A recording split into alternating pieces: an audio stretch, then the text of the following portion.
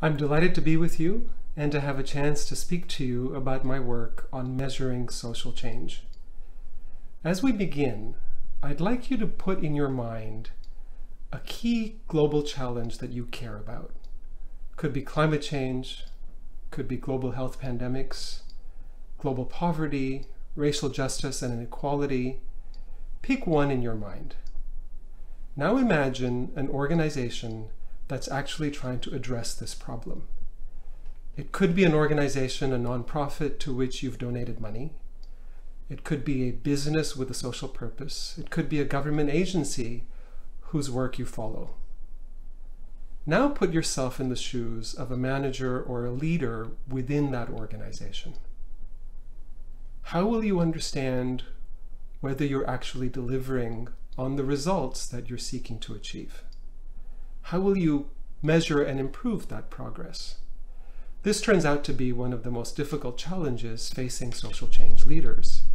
And it's the purpose of my new book, Measuring Social Change, which came out last year, and we're going to have a Spanish version coming out in the fall. The central question that many managers of social change organizations ask is, how do we know if we're making a difference? And their funders ask the same question. How do they know if they're making a difference? So whether you are an advocacy organization, like the top image on this slide, um, advocating for the rights of marginalized groups, or if you're a soup kitchen serving meals to the homeless, or a food systems organization working with smallholder farmers, it's the same question that you have to ask as a manager or as a funder. The stakes are high. So just in the US alone, nonprofit organizations generate about $2 trillion of revenue on an annual basis. And in the business world, the impact investing community, which is about 10 years old, has already generated about half a trillion dollars of assets under management, which is growing rapidly. But even these kinds of figures are not enough to address our social challenges. According to the United Nations Sustainable Development Goals, we're seeing a shortfall of about $3 trillion annually in terms of the resources needed to actually address big social sustainable development challenges like ending poverty or hunger or creating gender equality. So, for organizations to generate the resources, to generate trust in society to provide those resources, and to measure progress, the challenge for managers is to actually develop clear strategies for social change. In my work, I identify three foundational questions that any manager or leader must ask. The questions will seem obvious to you, but the answers turn out to be more difficult to produce. So the first one, most obviously, is what is it that we're trying to achieve? And the German philosopher Friedrich Nietzsche is known to have said, the most common form of human stupidity is forgetting what we were trying to accomplish. We get so caught up in the day to day that we lose sight of the big goals and actually measuring progress towards those. In the language of management, that's your value proposition. We need to be clear about what we're trying to achieve and for whom we're trying to achieve those goals. The second foundational question that any manager must address is how will we bring about that change? In the language of social change management, that's your social change model. And we have a whole set of tools and methods that can help us to achieve an answer to this question. And then third, there's this question of how will we hold our feet to the fire? This is the issue of accountability in terms of delivering on that value proposition. So any leader of a social change organization must be very clear about these, the answers to these three questions. And in turn, their teams, their staff, their constituents must be aligned around those answers.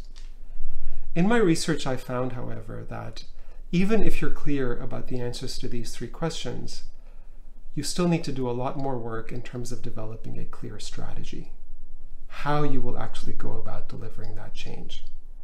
And I've identified four key types of strategy that I think are pretty comprehensive in terms of the options facing managers. So I'm going to list for you the four types of strategies. I'm not going to have time to go into all of them, so I'm going to focus on two of them. There's a niche strategy where you deliver a key service with high quality, such as meals in a soup kitchen. There's an integrated strategy where you line up a whole set of interventions. So in a food system, if you're working with smallholder farmers, you might line up access to credit and fertilizers with irrigation, with access to markets, in order to then increase farmer incomes. In an emergence strategy, which I find is very common among advocacy organizations, you have to take stock of the political environment and constantly adapt your strategy, your approach, in order to be able to move the needle on the policy problem you're addressing.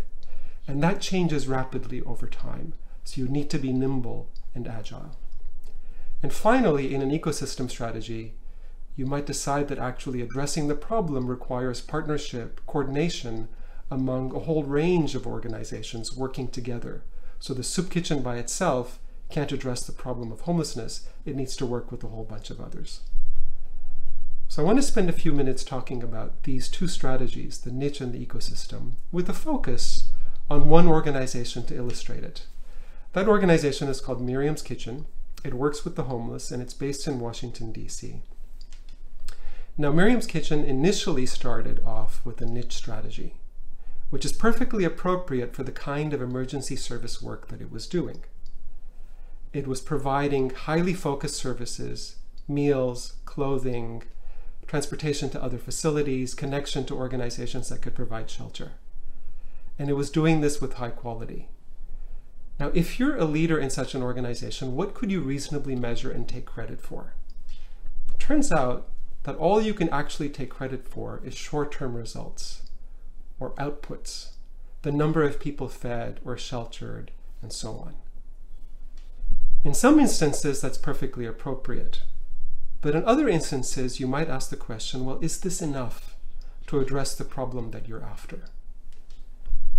About a dozen years ago, Malcolm Gladwell wrote a piece, an article, in the New Yorker magazine which he was following a man, a homeless individual that he called Murray. He asked the question, what is the cost to society of keeping Murray in the condition that he's in? We're not really getting him out of homelessness. Is there a cost to us? And if you tallied these up, the emergency room visits, the interactions with the police, the emergency shelter, Murray was costing society about $100,000 a year or about a million over a decade, hence the name Million Dollar Murray. And so one has to ask the question, is there a better way? We're spending all of this money, and in the end, Murray is no better off than he was before. Well, it turns out, yes, there's a better way for actually a lot less money, a lot less cost to society. It requires a fundamental shift in our thinking from a niche strategy, which takes the client, Murray in this instance, provides all of these services, but Murray has, has is left to kind of figure out which ones to pursue and how to find those services. Those are niche services. They're not coordinated in a way that actually helps him. But could we move to an ecosystem strategy for addressing this problem in a much more orchestrated, integrated kind of way? Turns out there's a solution. It's called Housing First. It was pioneered by an organization called Pathways to Housing in New York City. And the idea is you take the most vulnerable people like Murray, you put them in housing, and then you wrap all of these services around them so they can be customized to the needs of that individual. It sounds expensive, but it turns out to be a lot cheaper than the atomized niche services way in which this work was previously done. If you're a manager or a funder, what could you measure now in terms of progress? Well, you'd measure those individual services. Are they provided effectively, efficiently? But now you can actually get at the collective result, the collective outcome of actually getting people out of chronic homelessness. And this, this uh, more ecosystem oriented strategy turns out to be twice as effective as a niche orientation. It turns out that this framing niche strategies and ecosystem strategies apply to all sorts of other types of problems. So addressing the coordination problems in a global health pandemic requires us to actually work together and coordinate as an ecosystem rather than acting alone. Addressing climate change requires an ecosystem strategy. Addressing poverty requires an ecosystem strategy. So you might ask why we don't actually see more of such types of efforts. That's a topic for a much longer conversation, but two of the key reasons are A, this requires particular skills of negotiation, conflict resolution, working together, rather than trying to take credit for separate work that we do alone. And B, it's actually a lot harder to raise funding for this kind of work because nobody can take credit for the results on their own. So to begin to wrap up, in my book I lay out four different types of strategies that social change leaders can pursue. And I've talked about two of them briefly, the niche and the ecosystem strategies. But it's possible to be high performing in any of these four strategies, and as a manager, you've got to choose because that then affects what you can reasonably measure and be held to account for, and the kinds of performance management systems that you might build. In closing, I'd like to say a few words about what's happening at Tufts in this space. Tufts University is a leader on social change work, and particularly at the ecosystem strategy level. So just in the past year, there's been a whole set of convenings. Fletcher had a convening on the Arctic, so just think about the challenges confronting us in the Arctic climate change, navigable waters, um, geopolitics, access to natural resources, and so on. In addition, there's another whole group at Fletcher that's working on the digital economy and asking the question what would a digital economy look like if it were inclusive, if it were actually benefiting everybody in society? But what makes me most proud is the work of our students. So the three logos that you see at the bottom of this screen are startup organizations that were founded by Tufts students who graduated last year. All of them took a class with me where we developed strategies for their organizations. And I want to close with an email I received from the founder of the first of these, Sustag for All, which is a sustainable agriculture organization working with smallholder farmers uh, on food systems in Colombia. And the founder of that organization is Luis Villegas. He graduated last year. And he sent me an email a few weeks ago as I was preparing for this talk. And he wrote to me, the 1,000 avocado trees are planted and are looking in great shape. The seedlings facility will sell the first 40,000 seedlings by the end of the year 2020. Last year, I attended the Climate Action Summit at the UN headquarters representing the Fletcher School. Amongst so many high-level meetings and networking, I had the chance to present Sustag for All to the Secretary General and asked him to include us as one of the projects in the Year of Action on the Global Commission on Adaptation. Sustag for All represents what the Fletcher community, and I might add Tufts University, pursues. We are being seen as an example for Fletcher and Friedman School entrepreneurs of the way to make big changes. It has a huge value, for it's something to feel proud of. Now that makes me proud to be a part of Tufts University. Thank you. How wonderful. Thank you so much, Alnoor, for that wonderful presentation. So happy to be with you, you almost live, almost together. Um, so thank you, thank you so much. yeah. Um, so I do have a quick question. The questions are coming in, and everyone keep them soaring in. We're we're blowing through them very quickly here, but I wanted to start very quick, briefly with the question to you, Alnoor, about strategy. I'm very interested, as you know. Um, you've told us that an ecosystem strategy, although expensive to put in place, is twice as effective as a niche strategy would be.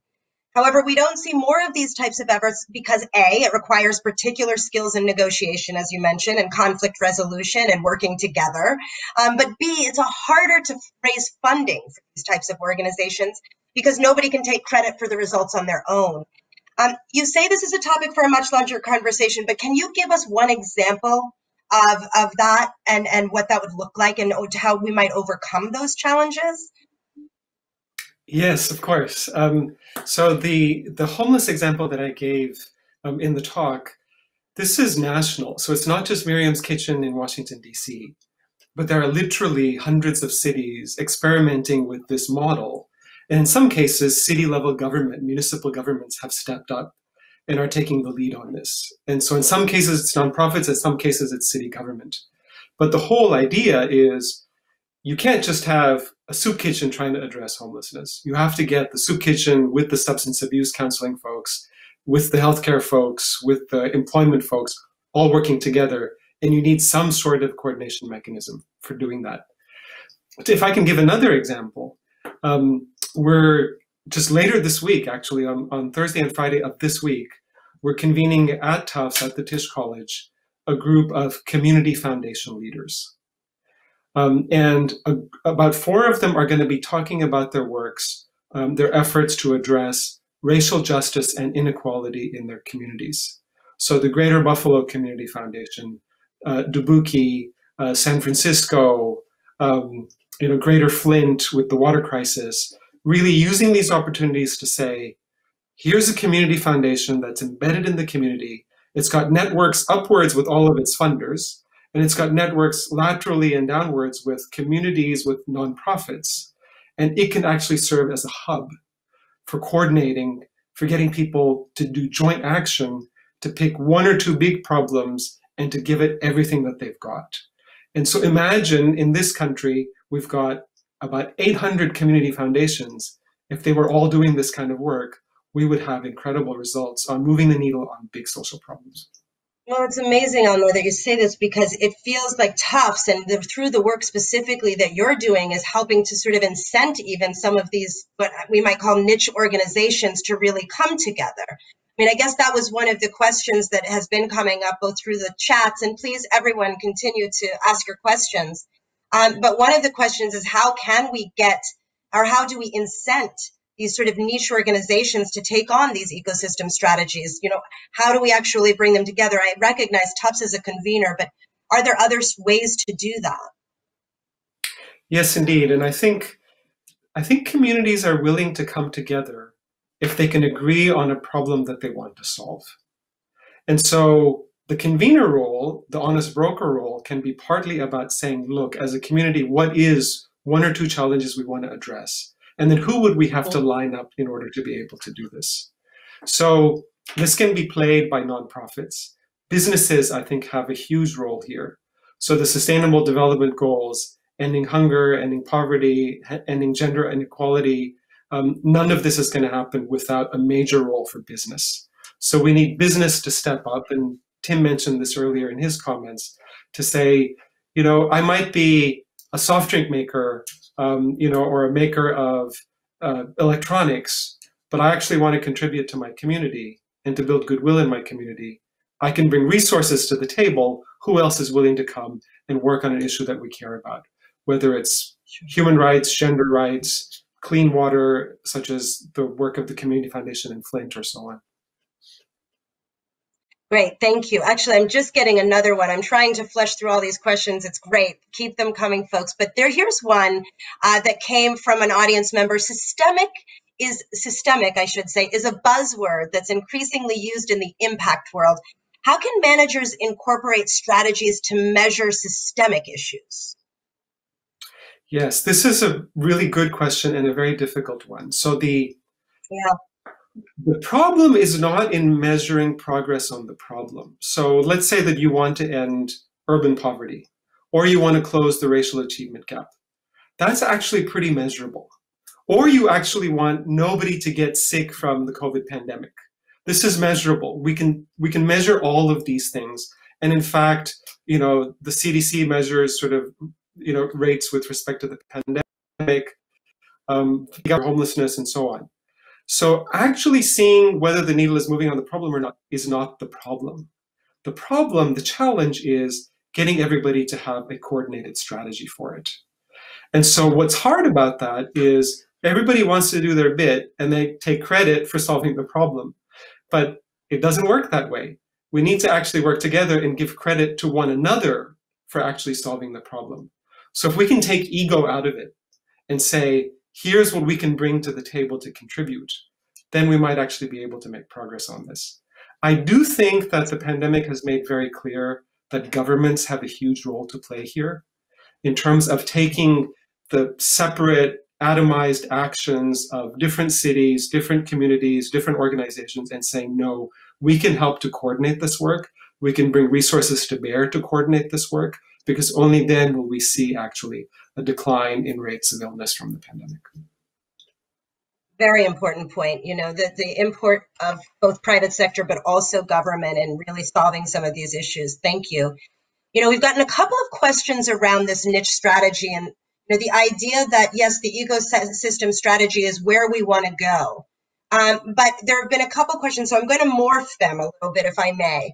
Um, let me just say it this way: many organizations, they're saying, are, are hitting a wall, if you say, um, when attempting to assess their impact on the larger scale societal issues, as we've described, which is why you really wanted to bring that ecosystem strategy to bear. But one, you know, how do we suggest that those niche organizations get over that as individual organizations? And two, are there still organizations that are better served by continuing to use niche strategy um, in the way that they approach their work? Yes, um, thank you for that question. It's a very astute one. And so I'm not suggesting that all organizations move to an ecosystem strategy. The four strategies that I outlined in the book um, I think each of them one can be high performing in. But you have to be clear about what you're trying to achieve. If you're trying to end homelessness, a soup kitchen won't do it. Um, you know, if you're trying to solve the pandemic, just working on getting people to wear face masks is not going to do it. It's a key ingredient, but by itself is not sufficient. On the other hand, there are certain niches that we feel actually you should stay focused on and do well. So for example, take, you know, ambulance services. Um, you know, God forbid, because there's 800 people sort of watching this conversation between us, right? If I had a cardiac event, right, my heart starts beating faster, um, and I fall to the floor. My wife, who's in the room below me, will hear a thump. She's going to come running up. She's going to call 911. My chances of survival are much, much higher if the ambulance responds and administers care within 9 to 12 minutes. If they respond in a half hour, my chances are very slim. What would we expect that ambulance service to measure? It would be unreasonable. It would be crazy to expect them to measure my health outcome because they're going to pick me up, they'll administer emergency care, they'll take me to the hospital. And you know this as somebody that's in the health field yourself. What Absolutely. we expect the ambulance service to measure is response time and quality of care delivered en route. Those are short-term measures. That's a niche service. We don't want the ambulance service to be doing 10 different things or coordinating 10 different things. We want them to be doing a focused task, highly focused that they can deliver with high quality. That's a niche service, it has real value. Another example is, you know, if you've been through sort of the standard American education system, you've gone from daycare um, or preschool slash daycare to elementary school to middle school to high school and perhaps to vocational or college. Um, each of these is a niche. So Tufts University is a niche. And there's a handoff across these. And we've got a, for most, actually for not for most, for some people, there's a pretty good handoff that enables you to move through these niches so that you actually got an ecosystem that's working. But that system is failing a lot of people, right? People that don't have somebody that can help them um, make use of their preschool and elementary school, or people that have guidance counselors that can help them make the transition, or don't have the resources to make the transition. So an organization like Harlem Children's Zone in New York City actually thinks about that entire pipeline, that entire continuum, and tries to provide services along the way so that people don't fall through the cracks.